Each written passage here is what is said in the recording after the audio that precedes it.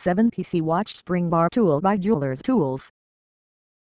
This watch spring professional tool is great for removing undamp, replacing watch band spring bars. Using proper tool helps prevent damage to watch lugs or case of your favorite watches. Easily insert this watch spring tool between watch band and lug to retract spring ends and voila! This 7PC watch spring bar tool comes with interchangeable tips.